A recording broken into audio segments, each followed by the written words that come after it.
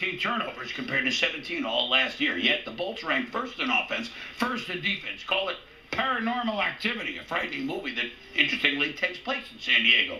Who better to investigate than Paranormal Ditka?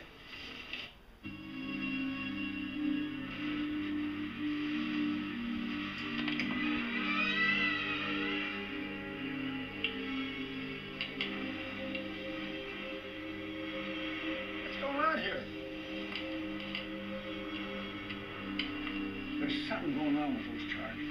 Usually start slow, but they finish strong. There's something about this season that gives me the creeps.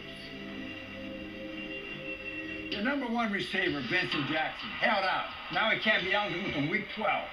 And your other receiver puts the ball on the ground rather than tackled. Hey, here's a real ghost for you. Shawne Merriman. I haven't seen him all year. I see dead Chargers. And what about the special teams? They're not very special. This is really scary stuff. You got a problem. Can't cover, can't tackle.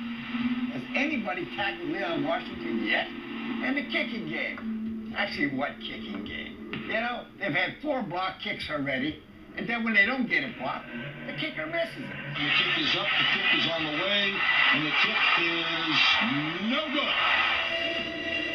What's that all about? They got some real skeletons in their front office. Drew Brees, he leaves, he wins the Super Bowl. And how about Michael Turner, tearing up the league down in Atlanta?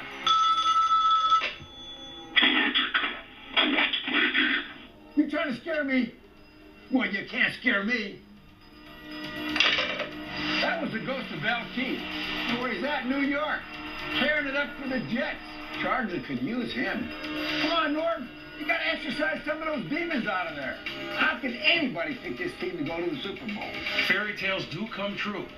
Brett Favre and the Vikings over the Chargers. Come on, man. I'm taking my life. I'm getting out of here.